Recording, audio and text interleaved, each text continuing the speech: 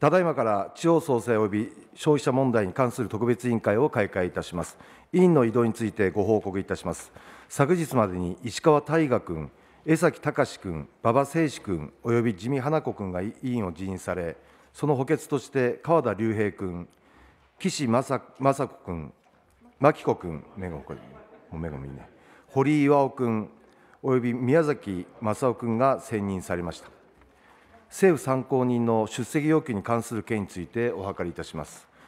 取引デジタルプラットフォームを利用する消費者の利益の保護に関する法律案の審査のため、本日の委員会に理事会協議のとおり、